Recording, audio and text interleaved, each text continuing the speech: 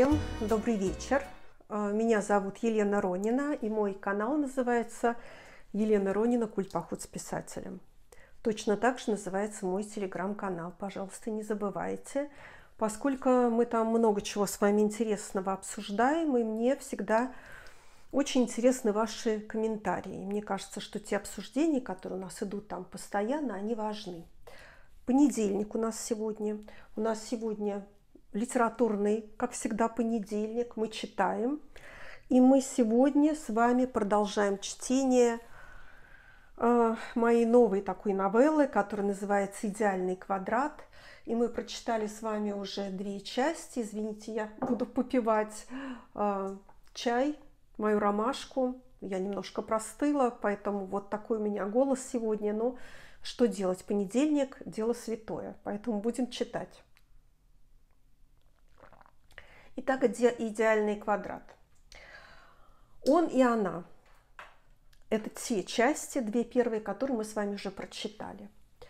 Люди, которые встретились, э, вот э, он, э, у него уже была семья и взрослый сын, и очень успешная жизнь.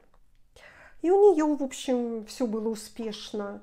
Но вот они встретились, друг друга увидели – и проскочила между ними искра. И она проскочила настолько сильная, что он вдруг решил все поменять в этой жизни, понял, что вот оно наконец. Вот он всю жизнь этого ждал. А она просто привыкла идти за своим чувством. Но если вдруг оно пришло, при том, что прям вот взаимное, и он ей понравился, и она ему понравилась. Ну а что, собственно говоря, мы будем страдать? Жена, ребенок. Ребенок он был и остается, но жена, она просто не подходит. Пусть идет, жена найдет себе тоже подходящего.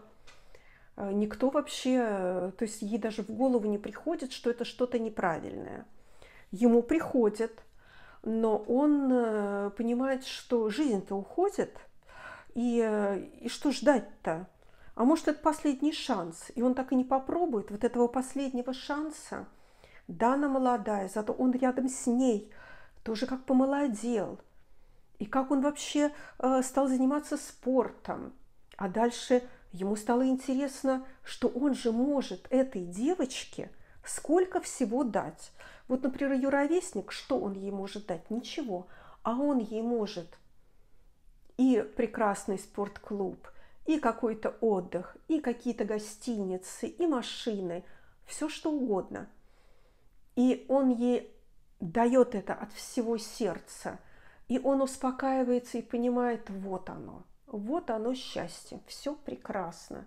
И вот в этот самый момент он не понимает, что уже давно ей стало с ним скучно. Она собирает вещи и уходит от него.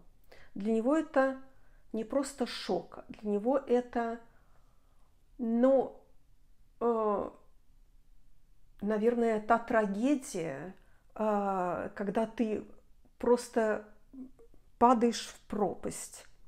И тебе кажется, что жизнь закончилась вообще навсегда. И дальше не просто ждать нечего, а даже не рассчитывай. Ну так вот, у нас сегодня это была преамбула. Это я вам рассказала краткое содержание первых двух частей, которые вы можете э, прослушать у меня на моем YouTube-канале. Есть, э, я вам ссылочки оставлю, э, вот эти две части, и мы там обсуждаем эти две части. Но сегодня часть третья. Назывался это все «Идеальный квадрат». Сегодня часть третья, она называется «Жизнь после нее». Глеб пришел в себя после того, как хлопнула входная дверь. Хлопок раздался не только снаружи, но и изнутри. Сначала он подумал, все, инфаркт. Попытался аккуратно вздохнуть. Вроде бы дышит. И то хлеб. Это все нервы. Просто нервы. Нервы. Он не помнил, сколько времени он вот так стоял посреди комнаты. Стоял и успокаивал сам себя. Все в порядке. Это все нервы. Не понимал, про что он сам себе рассказывает. Причем тут нервы? Но мозг уцепился за фразу, которая его успокаивала и убаюкивала. Просто нервы. Нервишки шалят, все от нервов. Нервные клетки не восстанавливаются. Нужно просто перестать нервничать. И так дальше. Вариации на тему. Пришел в себя, когда вспомнил, что надо бы погулять с песелем. Ах да, песеля тоже нет. А потом он схватил телефон и лихорадочно начал набирать номер. Нет, не ее, бывшей жены. Вовремя спохватился и дал отбой. Жена тут точно ни при чем. И потом прошло пять лет. Он не знал, что он хотел услышать от Марины. Слова соболезнования, сочувствия. А кому еще рассказывать? Стыдно. Боже, как стыдно. А Марина все же оставалась женой, хоть и бывшей. Лика замуж идти категорически отказывалась. Вернее, так. Она молча пожимала плечами и не поддерживала эту тему. Глеб почему-то сразу понял, что это серьезно, что Лика не вернется. Более того, она так на него посмотрела перед уходом, что Глеб вообще не узнал ее. Она, такая родная, такая единственная, смотрела на него, как на пустое ведро. Ни интереса, ни любопытства, именно ведро. Прошла мимо, пнула ногой – даже не поморщилась, услышав звук ржавого металла. Мало что и кого бывает в жизни. Но как? Он все стоял, и ни одна мысль не приходила в пустую голову. Действительно, ведро. А потом был страшный запой. И, конечно, звонил Лике и угрожал, и умолял. Она отвечала односложно и лениво, но отвечала, исполняла повинность, не блокировала, не ругалась, но не жалела и не сочувствовала. Говорила с ним как с прохожим, которому надо объяснить, куда идти. Ну, не знает он. Надоел ей, понятное дело, этот прохожий, уже не молодой, не очень-то интересный, вот только страсть какой назойливый. Ну что поделаешь, куда деваться? Она все же нормально воспитана. Старшим надо помогать. Тимуровка. Нецензурное слово тут идет, не могу его произнести. В итоге он сам понял, что достаточно лезть в чужую жизнь. И вдруг вспомнил – а что, собственно, он про нее знал? том, что она, то, что, работ, то, что она работает парикмахером, то, что есть мать, которая ею не интересуется и с ней на одно лицо, то, что животных любит, в дом пса привела. И все. Маловато будет. Глебу некогда было вникать во внутренний мир Лики. Он формировал свой и делился – с ней делился, делился всем, что узнавал, что было интересно. Она же умный человек, и она улыбалась. Молчала, но улыбалась. Значит, ей тоже было интересно или нет? Почему тогда молчала? Возмущалась бы, предполагала бы свои варианты. Он же не против, он бы обязательно пошел навстречу. Дни прозрения сменялись полной апатией, не хотелось ничего. Жизнь резко покатилась с горы. Через месяц приехала жена. Позвонила в дверь. Он вылез в чем был, перед дверью попытался пригладить волосы и открыть хотя бы один заплывший глаз. Это было ни к чему. Бывшая жена на него даже не посмотрела, сразу прошла в комнату выгрузила продукты из двух сумок, поставила варить суп, запустила стиральную машинку, предварительно закинув туда постельное белье. все делала молча и по-хозяйски, без обсуждений и нравоучений. Глеб виновато сидел на краешке дивана и поглядывал, вздыхая на Марину. В голове все так же было пусто. Он не сравнивал, не мог сказать, что он рад приезду Марины, как будто у него пропали рецепторы какой-то эмпатии. Просто человек, вон посуду моет, это хорошо.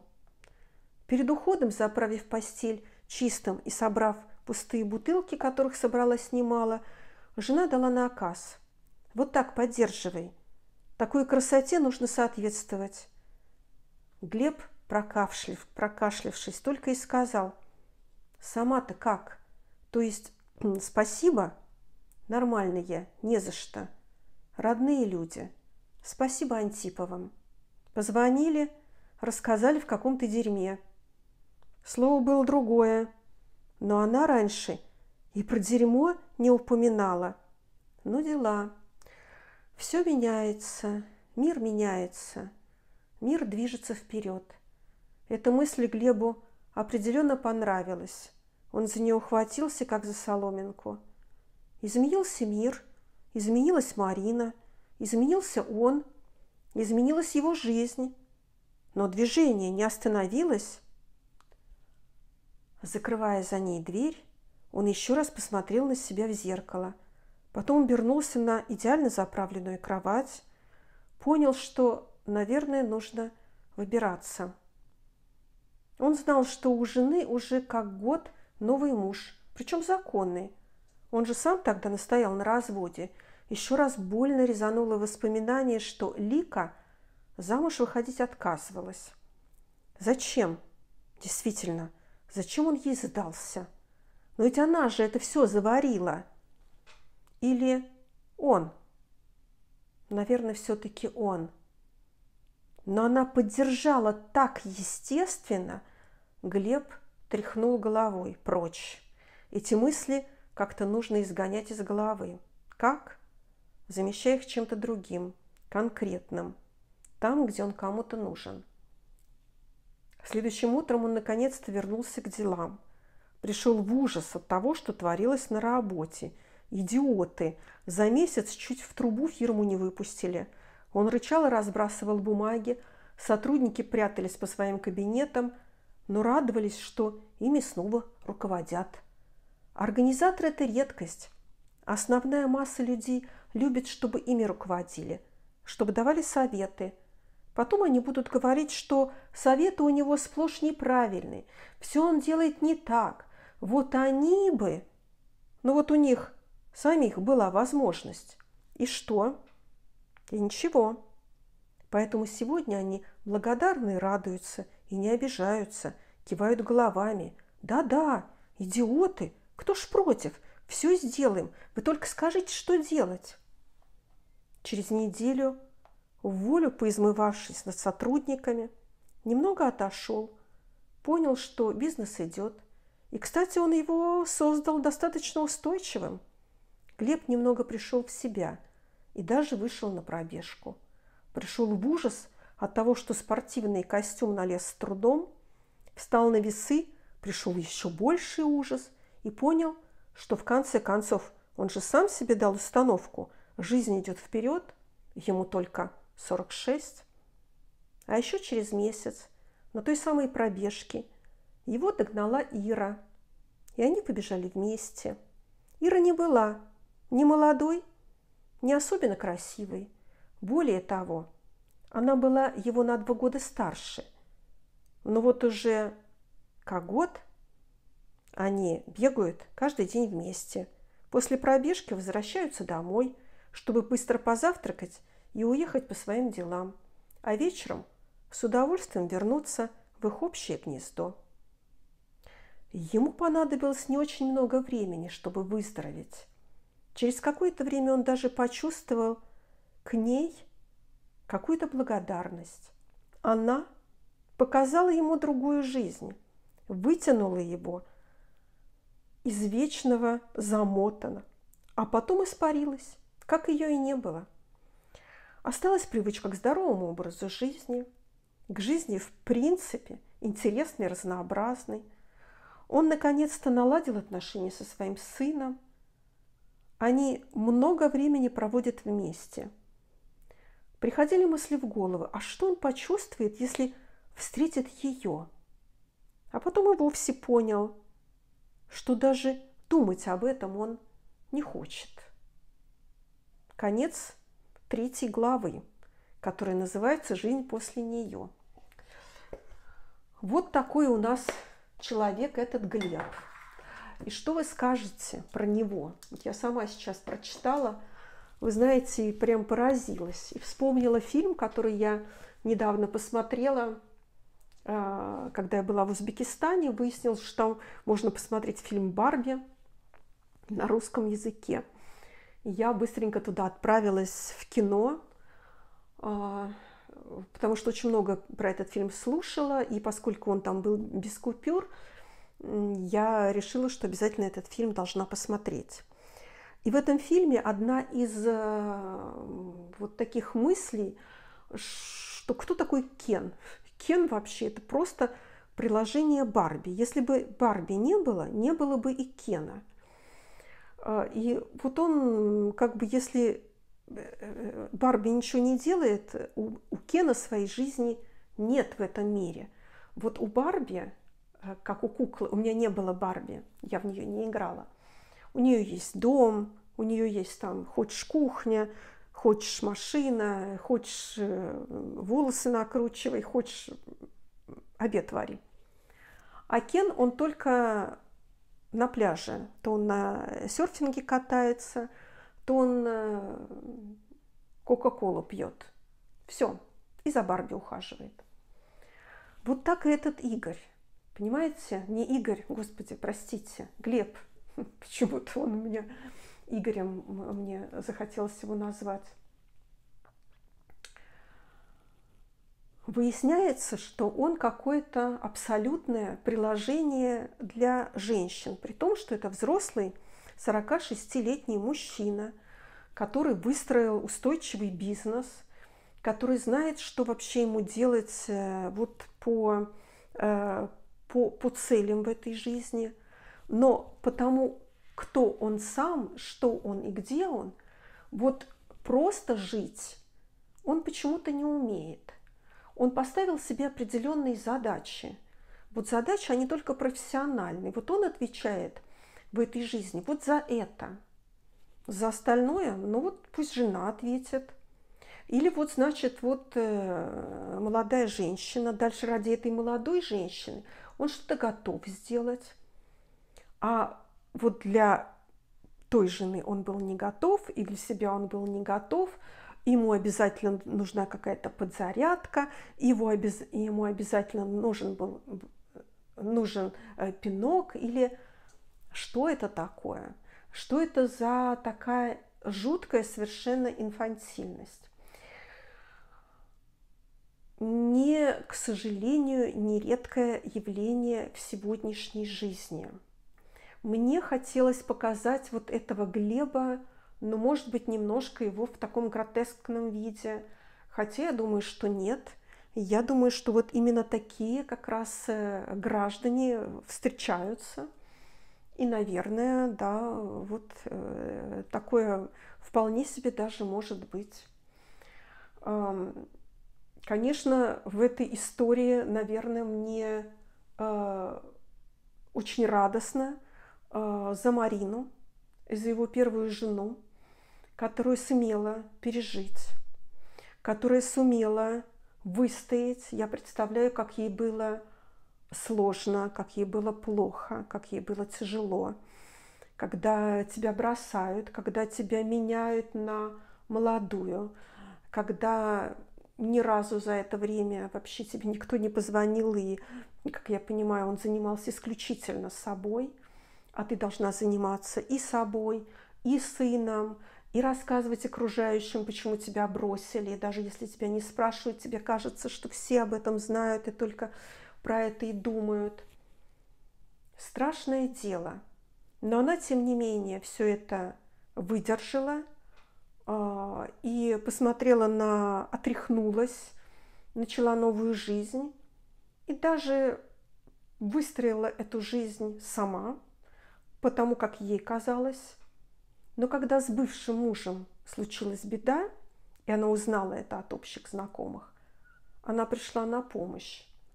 Она без сюсюканий, без всего, но она его знает лучше, чем друг, другой, потому что э, другая. Потому что вместе было становление. Она знала, чем его выводить из запоя, что его может поднять из этой ситуации. Она все сделала и ушла. Она поступила, знаете, как самый э, верный и правильный друг. И это даже, знаете, не друг, это по-человечески. Вот то, что, на что мне хотелось бы, чтобы у каждой из нас, если не приведи Господи такая ситуация случилась, хватило бы сил. Это очень непросто, нужно много мудрости, нужно много э, на это какой-то, не знаю, внутренней какой-то вот такой уверенности в себе, что ли. Но это нужно иметь. Иногда вот такая сила нужна. Не знаю, может быть, если бы у нее э, в жизни все не состоялось к этому времени, то, может быть, было бы все по-другому. Но вот возвращаться э, в ту же реку, оно ни к чему. И, как правило, знаете, вот по статистике, я не знаю, мы говорили с этим, с вами об этом или нет, но женщина, она страдает долго, два года. И вот у мужчины есть два года, чтобы вернуться. Если он за это время не вернулся, слава богу, если он за это не вернулся, то женщина полностью э, выздоравливает, полностью переосмысливает эту ситуацию – понимает вообще, с кем она жила и нафига он ей нужен, и уже начинает жить э, другую жизнь. И всегда эта жизнь будет значительно лучше, чем предыдущая. Всегда. По-другому не бывает. Потому что мы с вами тоже знаете, вот мы все сейчас, ну вот может быть я давно уже не э, слежу за жизнью там звезд или, а раньше я, например, Э, регулярно покупала журнал «Экран», он, по-моему, назывался, да, и вот там читаешь, как, значит, он от, от к заворотнюк ушел, от заворотнюк пришел опять к жене, и опять от жены благополучно ушел. Она его раз простила, она его два простила, да сколько ж можно. Вот э, поэтому стоит ли? Вот стоит ли? Так что, Марина, все, слава богу. А, вот такая история, как, вот так она закончилась у Глеба. Ну что, будем смотреть, что, чем закончится э, все о Лике. И в следующий раз обсудим, как это э, вообще в целом э, ситуация нравится нам, не нравится, и всю эту новеллу в целом. Меня зовут Елена Ронина. Мой канал называется Елена Ронина «Культ поход с писателем». Мы сегодня говорили про очень сложные отношения. Бросаем, влюбляемся, переживаем. Трагедии у нас такие происходят. Несмотря на то, что в мире творится ужас, что любовь никуда не девается. Любовь все равно в любом времени, она всегда существовала, существовала существует, будет и существовать, и слава Богу. Берегите друг друга, мира и добра. Я рядом.